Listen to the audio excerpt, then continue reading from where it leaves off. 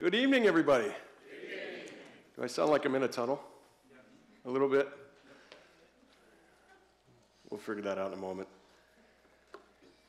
It is so nice to see all you here tonight, man. We had a great, absolutely great day on Sunday. Um, I got here late today. I'm just going to let you know. I've been sick since Monday. I've been out. I have been down, uh, but I'm here tonight. I snuck in late uh, to try and minimize contact with anybody. I do not want you to get what I have. So when I'm through here tonight, I'm going to right out the side door and I'm going to go home and go back to bed. But I came out for tonight. It's going to be a great night. We have a great word to, to get into tonight. I say this often, but this is one of my favorite chapters. 1 Samuel chapter 8. If you'll open up your Bibles to 1 Samuel chapter 8. The title of our message tonight is called My Way or Yahweh. My Way or Yahweh. Let's begin in prayer. Father, I thank you, Lord, for this night. Lord, I pray that as we get into your word tonight, Lord, first and foremost, I pray that my voice will hold out to the end. I pray, Lord, that you will speak to us once again through your word, Lord, that you will shine your truth, Lord, into our hearts and on our minds. I pray, Lord, that we would once again, Lord, be filled up with your word this week, that we would be cleansed, Lord, that we would be enriched and we'd be filled with the bread of life. We thank you, Lord God. I pray, Lord, you speak through me tonight to your people. In Jesus' name, amen. Well, as I was studying this chapter tonight, this title kind of tells you where we're going. I was reminded several times in my life where I had gone out on my own or maybe got ahead of God. You ever wanted something so bad that you constantly pray to God for it and then you get it and it ends up sort of being a disaster? You find out that it was more your will than God's will. Right after Robin and I got married, when we were young, uh, we were serving in a church and things were going well in our lives and I had always dreamed of owning property uh, in the town that I grew up in, Elma, Washington. I love to hunt, I love to fish, I love to live in the country. I grew up in the country um, at my folks' place, and, and I always wanted to own a big piece of property and be able to have my own place to go out into the woods. So after we got married, I kind of figured it was time for us to move on this plan. And we looked around, and many of you remember the real estate crash of 2008, right? That was kind of the big crash that sent everything through the roof. Before that, things were getting just crazy expensive. But you fast forward a few years, the same places that were selling for a half a million dollars were now selling for 250, right? And prior to 2008, Robin and I, well, I had looked at property on this road. It's called Hokanson Road. It was about five miles out from the one stoplight we had in town. And it was just beautiful. There was a house, big porch, uh, sat up on a hill had you know lots of grass around. It was about five acres, and I wanted it, but it was so expensive, and I couldn't really afford it. And I was so disappointed. And I remember praying to the Lord, and I was kind of disappointed I didn't get it. And when we were looking for property, we found another piece of property on this road. It was towards the end of the road, which was even better, because at the end of the road, it just turned into a dirt gravel road that went up into the woods. It's a logging road that you could access uh, for hunting and everything. So this place came for sale at the end of it. It was 20 acres. It had a custom log home built on it. I was told that uh, the guy that built it was a, um, uh, an oil executive for one of the major oil companies, and he actually built it for a hunting cabin. Uh, but it was like 2,000 square feet, or close to it. I can't remember exactly what it was. He actually flew Amish people in to build it without tools. They logged the property and used the logs on the property to build the house. And I mean, it was, it was the nicest hunting lodge you, or hunting cabin anyone could build for themselves. Well, the place that was that I wanted before was already sold, that was already gone. This place was selling for less than what I originally wanted to was going to pay for the one before, and I had more money now. I'd been working for the fire department longer and I had better access. It was still quite a bit at the top of our price range. And we prayed and we prayed, but I think my prayers were more or less, God, I want this place. I need you to help me get it. Right?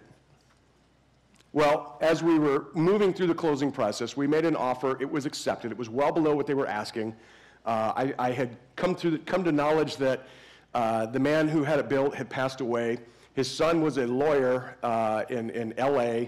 He had a daughter that was a doctor in New York, and they just wanted the place gone. They wanted to get the money from it. They didn't want to deal with it anymore, and so uh, they were liquidating his assets. So I kind of came in at the perfect time, made an offer, it was accepted. We started moving through the process. And the day that we went to sign the papers to close, and I mean, if you've bought a house and you've got a loan, you know all of the hoops you got to jump through to get to that point. The day that we were on our way to close the property, I got a call, and they told me that the lender just backed out. I mean, it's, we're signing papers at 12:30. It's like 12:15. And I'm like, how could we, for 30 days, they made me write a letter explaining why I bounced a check two years ago. Like, how did they just decide that they're not going to do this 15 minutes before I'm going to sign? So I was, I was upset. The realtor said, you know what? We asked for an extension. We go back and we get, you know, a, a different lender. I was like, okay. And we got a different lender. And then it was challenging to find insurance because of the spe- you know, specifications they had for insurance companies. And this place had a metal roof, and Washington State doesn't, you know, log homes aren't very popular there. So there was all these challenges and things we had to overcome. And the day that we were set to close, we were driving there, and Robin was in front of me in her car, and I was behind her in my pickup truck. And I saw a glint of something come off of the log truck. The glint that I saw was a big chunk of steel that fell off of his truck, hit the road, bounced up, and smacked my wife's car. And she pulled over, and, and, and you know, she gets there, and, you know, and, and, you know, for me, I'm just like, it's been 60 days. We've already fallen through one time. Come hell or high water, we're getting there to sign on this place, right? I had fallen in love with this house. I, we were going to get it. Well, we signed papers on it, and we got my dream. It was my dream to have this place. Beautiful place. 20 acres, custom log home, pond in the back, right off the back porch with fish in it. I could literally fish from my back porch. It was so beautiful. I had all my friends over to shoot guns in the front yard. It was the best time ever. But a year later, I got into the ministry.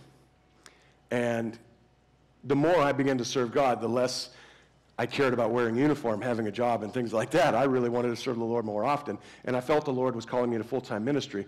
Problem is now, I had this massive house payment. I couldn't quit. When the Lord was calling us away the first time, I believe, me and Robin were going to go on the road and we were going to uh, do music and we were going to have a special message for churches, and this was our plan, and this is what we were going to go out and do. And so we put the house up for sale, and we got all the way to closing. And uh, they did an inspection on the house, and everything was good, except for they found one bit of rot on the back where the gutter had come un, undone, and it dripped water down the logs, and it did it for long enough, it, it, it rotted out this little corner. Killed the whole sale. I was so tore up that God didn't just help us sell the house. This place, while there were many good memories, and it was a wonderful place to be, was my will, and it prevented me from walking in what God had for us because I charged through, I forced through. Have you ever done that? Or is it just me? You never set off on your own and tried to get God to bless your plan? Well, the Israelites, strangely enough, did just that. Let's read here in chapter 8, verses 1 through 5. I wish my voice stayed this deep all the time. It, it makes everything I say like sound more important, you know? Like this is the Rock Calvary Chapel narrated by James Earl Jones, you know? I'm listening to myself and I'm like, I don't even sound like me, but I kind of like this new sound. All right, and last, let's get into the word. Now it came to pass when Samuel was old that he made his sons judges over Israel. The name of his firstborn was Joel, the name of his second, Abijah, and they were judges in Beersheba. But his sons did not walk in his ways. They turned aside after dishonest gain, took bribes, and perverted justice. Then all the elders of Israel gathered together and came to Samuel at Ramah and said to him, Look, you are old, your sons do not walk in your ways. Now make us a king to judge us like all the other nations. Samuel, by all accounts, was a very, very godly man. In fact, throughout the scriptures, he would be up there at the top. Abraham, David, you could put this guy alongside any of the godly men in the Bible. There's nowhere that we, that we read that, he, that God specifically came and condemned him for any sort of action that he did. But here, we see that he did sin. He wasn't a perfect man. What was the sin? Well, first of all, he made his sons judges. There's nowhere else in Scripture that we see judges being passed down through the family. Judges were always called upon. They were raised up by God specifically for a specific purpose and usually for a specific time. When they tried to make Gideon a judge, Gideon, he refused. He said, no, no, no. Or rather, they were going to try and make him a king. He said, no, that's not what God called me to do. This is not what we're, you know, we're not going to go down that road. The judges were raised up by God for a specific purpose and for a specific time. He put his sons in charge of being judges. He passed it down to them and why was this so sinful? Number one, God didn't raise them up. God didn't tell him to do this. But number two, they weren't fit to do this. Because we read here in verse 3 his sons did not walk in his ways. They turned aside after dishonest gain, they took bribes, and they perverted justice. It almost kind of seems like there's a pattern developing with judges because the last judge had the same issue. Great judge, bad dad. They were not parenting their, their, their, children did not walk in the same ways. They didn't follow the Lord. They didn't teach them the things of the Lord, or they did, perhaps. We don't know that for sure. Uh, sons certainly made their own choices. Um, but dad probably should have known that these guys were not supposed to be judges, and he made them judges, so that was wrong. But this leads to another problem. Verse 4 Then all the elders of Israel gathered together and came to Samuel at Ramah. And they said to him, Look, you are old. I'm, I'm sure that was easy to hear. Your sons do not walk in your ways. Now make us a king to judge us like all the nations. Now, the people were right to come to Samuel and say, We can't accept your sons as judges. These guys, they were perverting justice. They were receiving bribes. Now, a judge was a judge in the traditional sense of the word that we would think of a judge. If we had a matter, if we had a dispute of some kind, when the judges came, we may go to Ramah to see the judge there. We could go to Beersheba to see the judges there. And you sort of take your court matter, and he will decide between the two using the wisdom that God has given him, using the word of God. This is what judges were for. Now, how disheartening would it be if you went to a judge and, and you could win your case simply by paying him? Now, you know, if you're falsely accused of something, that might be kind of, you know, convenient, right? But what if someone falsely accused you and then paid the judge to make you guilty? I mean, that would be horrible. That's perverting justice. This was given a horrible name uh, to, to both, uh, you know, God's workers and God himself. The people just, they were right to come to Samuel and say, listen, we reject this kind of leadership. However, some of the things they said to him might have been kind of hard to hear, but their solution takes it a step further and is wrong as well. It says, uh, your sons don't walk in your ways, verse 5. He says, But make us a king to judge us like all the nations. Here we see one of the very first things that you should do when you're making big decisions in life. The first thing you should do is allow the Lord to make the decision. Look at what they did. When they come to Samuel, they say, Make us a king to judge us. Like who? Like all the nations. Where were their eyes at? Where were they looking? Nowhere do we, do we hear them coming to the Lord saying, Lord, what do you want for us? what do you think? Should we have another judge? His sons are being perverting justice. Should they be our judges? Should we have another judge? Lord, is it you? Should we have a king? You know what's really interesting about this? God knew this was going to happen hundreds of years before it actually did. Turn with me to Deuteronomy chapter 17. Let's read what uh, let's read what Moses writes here in Deuteronomy chapter 17. Because it's very interesting as we come up to this transition phase that they're getting into.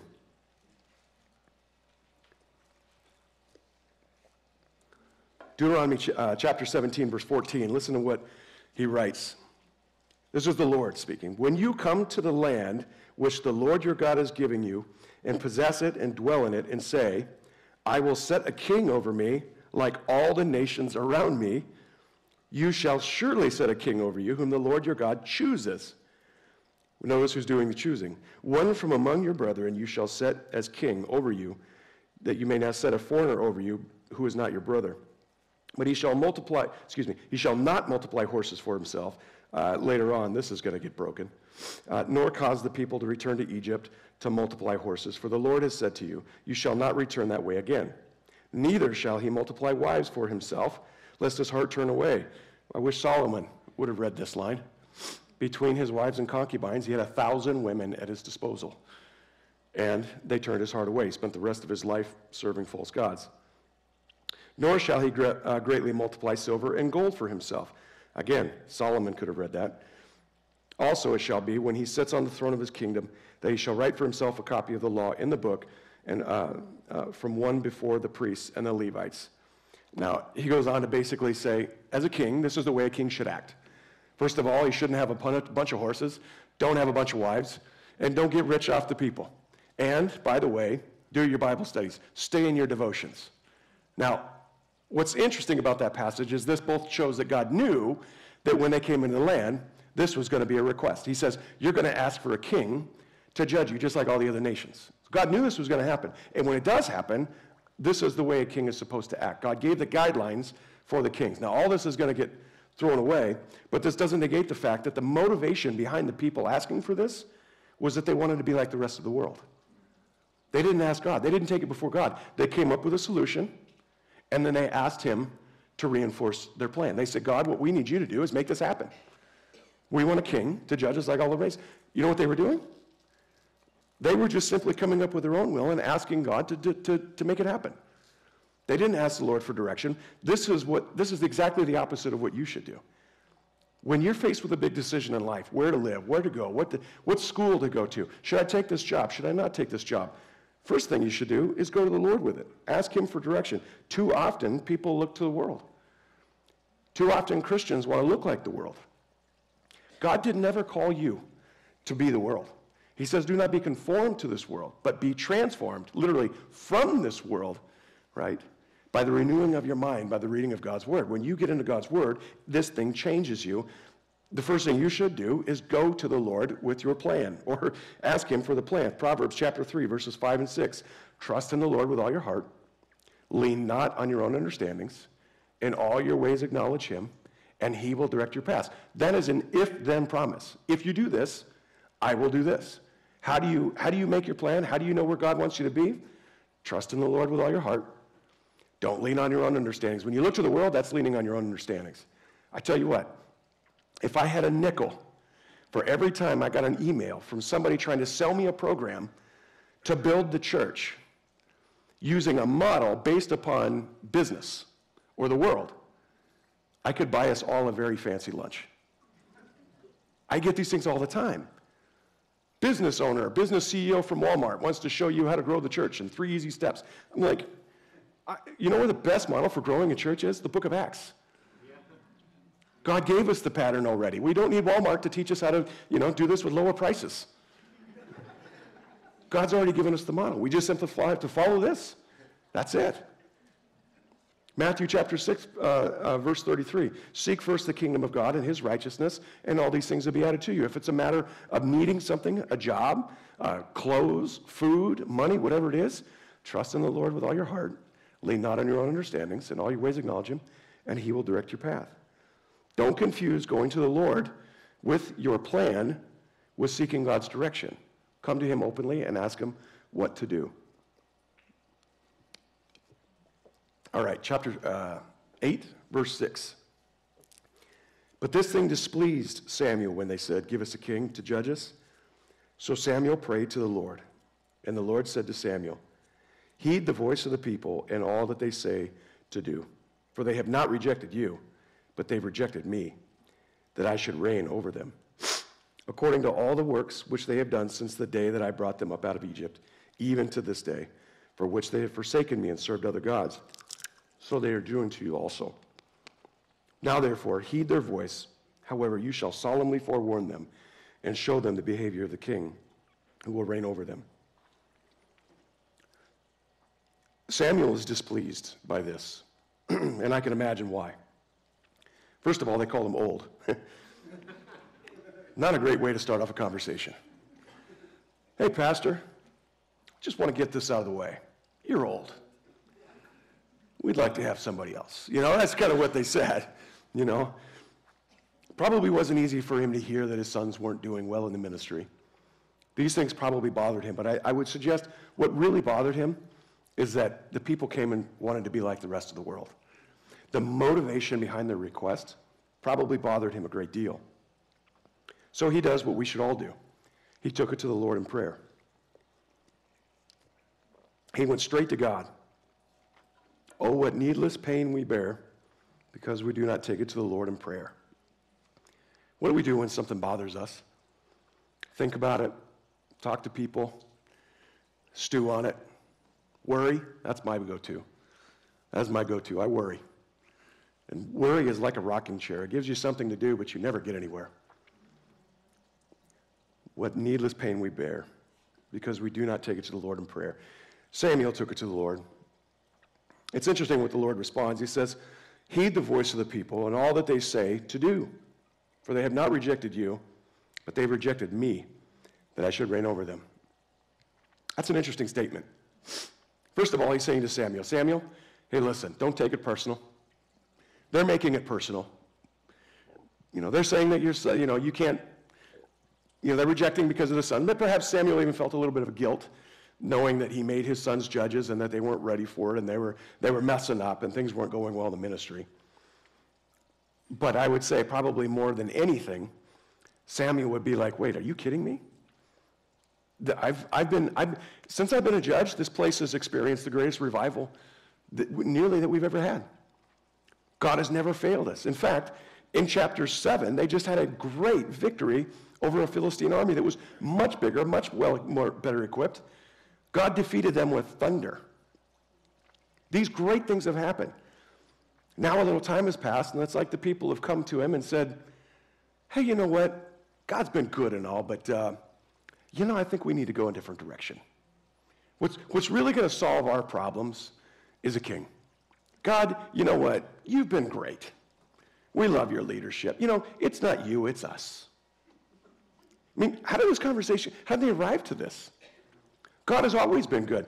For 400 years, God has been their king. What better king could you have than God? Now, for Samuel, Samuel takes a little bit personal, and I'll be honest, as a pastor, it's, it's hard not to. Sometimes people have an issue with what the word says, and they come and they, they bring it to me, and then, you know, I explain the word as best I can, and sometimes it's quite clear they're just not going to accept the word. But they don't ever really reject the Bible, and they don't reject God. What they do is they reject me, and they make it personal. And it's hard. Just like I can, I like, I listen to this, and I look at that, I'm like, yeah, Samuel, I, hey, man, I get it. But one thing Samuel needs to be reminded of, and me as well, it's like, well, look, they're not rejecting you, Samuel. They're rejecting me. You know, God is well acquainted with being rejected, isn't he? 2,000 years later, another king is going to be hanging from a cross. And the same people that cried out, Hosanna, the same crowd that waved the palm branches and said, You're the greatest thing ever, was screaming out, Crucify him. The same people. No different. He was despised and rejected, Isaiah 53 tells us. He's been rejected. God knows what this is. They're not rejecting Samuel. What they think is going to solve all their issues is government and politicians. My goodness, they're in for it, aren't they? This is, this is one of the funnier requests in the Bible. I don't want God to reign over me. What I really want is a Democratic and Republican Party. That's what I want. Yeah, it's going to work out well. So God says to them,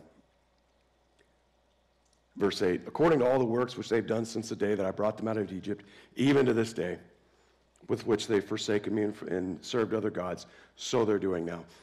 God alludes to the real heart and the root of this issue. It wasn't his leadership. It's that the people made themselves gods. They were, they were wanting to serve themselves. This is the second thing you need to do if you're going to make a big decision in life. Once you have prayed and you've asked the Lord for direction, whatever it is that you think God might be leading you to do needs to line up with the Word of God. They came with their request, and their request didn't line up with the Word of God. Perhaps even from Deuteronomy, you could surmise that it was God's will to give them a king. Their motivation wasn't to have the king that God had for them. Their motivation was to request a king so they'd be like the rest of the nations. They wanted to be like the people around them. Just like uh, a child, you might think. I want a dog because all my friends have dogs. You know? I want a boyfriend because all my friends have boyfriends. As an adult, I want that truck because all my friends have that truck. You know, I want to wear bell bottoms because all my friends wear bell bottoms. yeah, some people did that. Mm, gave yourself away there, I'll tell you what. But what they were doing wasn't lining up with the Word of God. This was not God's will for their life. And I hear people often, I hear people often, well, God must want me to be with that guy because he brought him into my life and he's been so nice and he loves the Lord. Yeah, but that guy's married. And the Word says not to do that. Well, everybody else in the world is doing it though, right? Ah, you know, I, I know that God says that we shouldn't live together before marriage, but, you know, Oprah Brooks said that it's really important to do that to cultivate a good marriage. I'm sure the world says that. The problem is, is that goes against the Word of God, right? I mean, you can just, you can point to any arrow on the compass. Whatever the world says is okay, usually goes against the Word of God. In fact, I said usually, always goes against the Word of God because the Word of God and the world are always at opposite ends. There's what God says to do, and there's what God says not to do. And whenever we do what He says not to do, it always brings consequences into our life. Always. It brings hardship. And sometimes God will give you the desire of your heart just to show you that that's not what you really needed and to teach you through this. It's interesting that God says, give it to him. Give it to them. It's almost indicating that he knows that they're not going to change their mind. So he's going to give them a king. There's going to be a king that he chooses, but it's going to be according to their desire. The king they get first, not going to go so well. The king that he gives them is going to come after that. That's going to go much better, but not perfect. So in verse 9, he says, Now therefore, heed their voice. However, you shall solemnly forewarn them and show them the behavior of a king who will reign over them. Now he's going to teach him. Verse 10. So Samuel told all the words of the Lord to the people who asked him for a king. And he said, This will be the behavior of a king who will reign over you. He will take your sons and appoint them for his own chariots and to be his, uh, his horsemen, and some will run before the chariots. Now, what did God say in Deuteronomy not to, not to have? It's horses. Interesting, isn't it? Samuel knows what these kings are going to do. He will appoint captains over his thousands and captains over his fifties. He will set some to plow his ground and reap the harvest, and some to make weapons of war and equipment for his chariots. He will take your daughters to be perfumers, cooks, and bakers. He will take the best of your fields, your vineyards, and your olive groves, and give them to his servants. He will take a tenth of your grain and your vintage and give it to his officers and servants. He will take your male servants, your female servants, your finest young men, and your donkeys and put them to his work.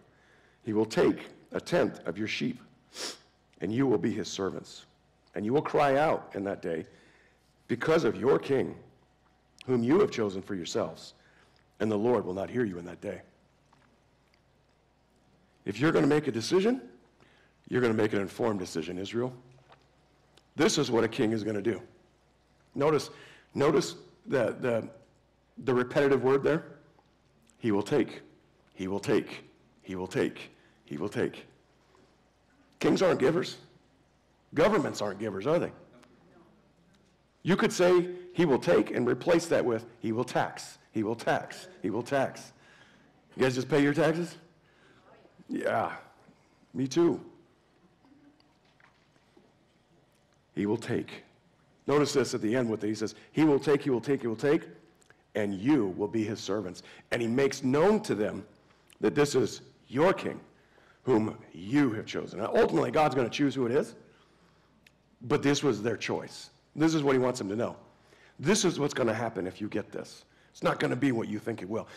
It may solve some of the issues you think it's going to solve, but it's going to bring with it long term consequences. And it's not going to go the way you think it's going to go. Try and talk a little girl out of having an animal pet. I tried that once, right? I said, you know what, honey?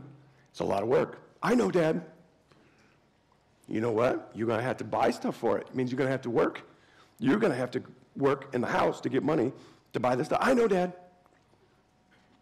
Okay, well, you're going to have to play with them. I know, Dad. I know, I know, I know. And I'm like, child, you're not listening to a thing daddy's telling you. What happens? We get to guinea pigs. We get to guinea pigs. I don't know why God made guinea pigs. I have no idea what purpose they serve on this earth. They don't do anything. They got the same look on their face, whether they're happy, sad, scared, or mad. They squeak and fall off of things. And they eat. And you wouldn't believe the boo-hooing when she found out that I was serious that you have to pay for things. Oh, I, well, that, I earned that money. Yeah, you wanted the pet, right? Not, not exactly, oh, you got to clean out the cage too. Yeah, but it smells bad. Yeah, I realize that. That's why it needs to get cleaned, right? Finds out later there's responsibility with it. Now, that's a cheeky story to, to display this. They're going to get their king. It's not going to solve the issues. There's going to be a lot of unintended consequences that come along with this request. And this is what God is trying to warn them for. Have you ever made a decision and you feel like there's an awful lot of things trying to stop it? Remember the story I told you in the beginning? How a, a bank backs out 15 minutes before you're supposed to sign. And then the next time you go to sign, the big metal part randomly flies off a truck and hits your wife's car on the way to the signing. You'd have thought at that point, I'd have stopped and thought, huh, it's almost like something's trying to stop me from buying this house. Not when you're young and you want something.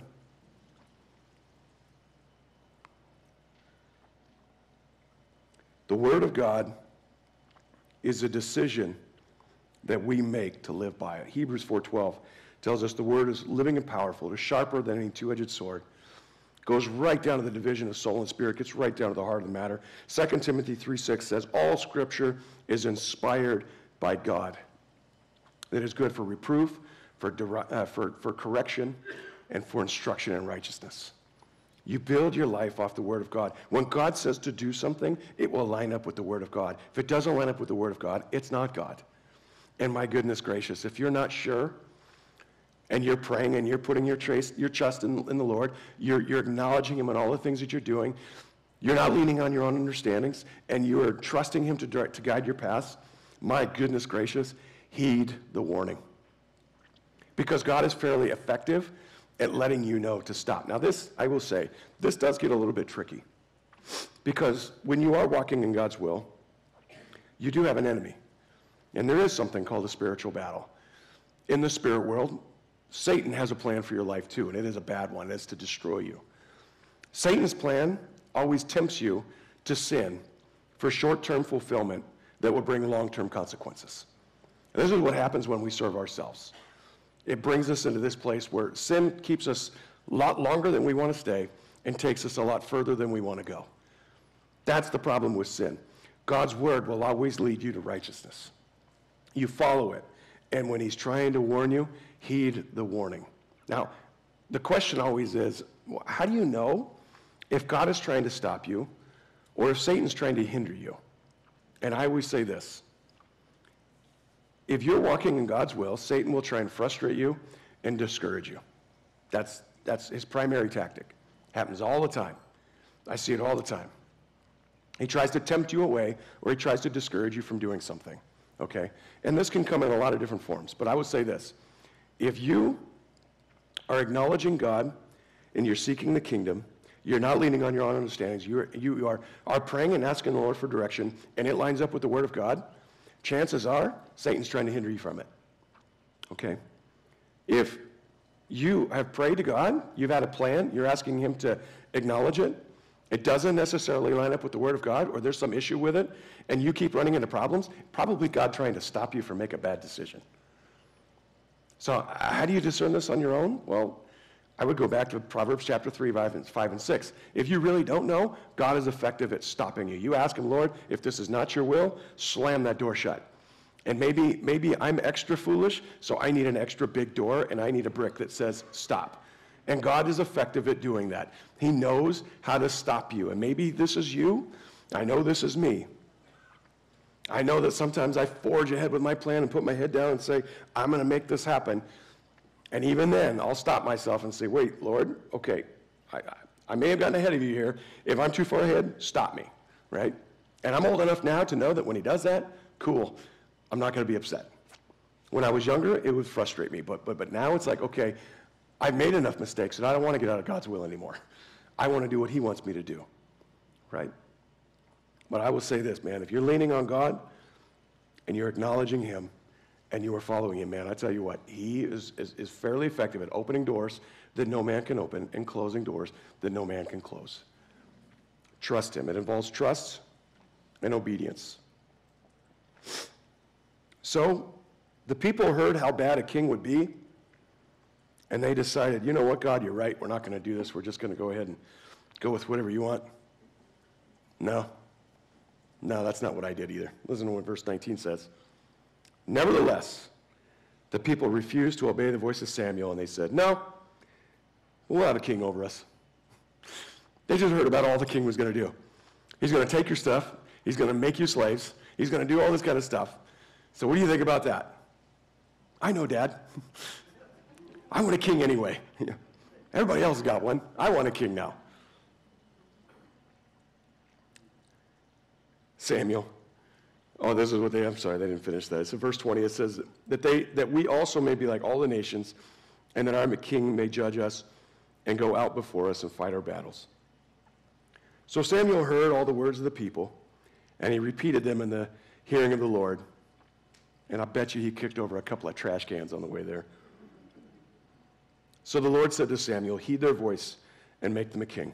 Samuel said to the men of Israel, Every man go to his own city. So Samuel sent them away.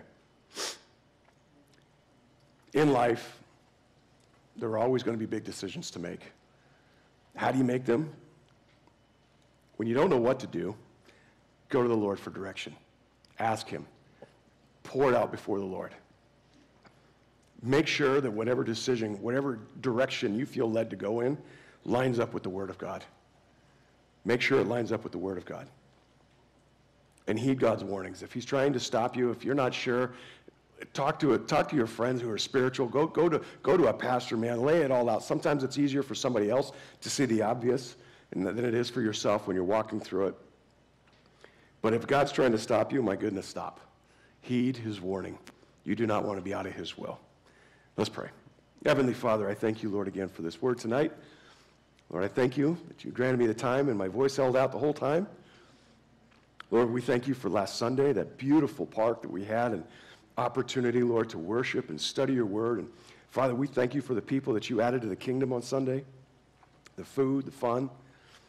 Heavenly Father, I pray that as we come together this Sunday, we're all well. We have plenty of parking, plenty of chairs. And Father, that once again you will teach us and instruct us in righteousness. We pray these things, Jesus, in your holy name. Amen. God bless you all. I'll see you Sunday with more to say.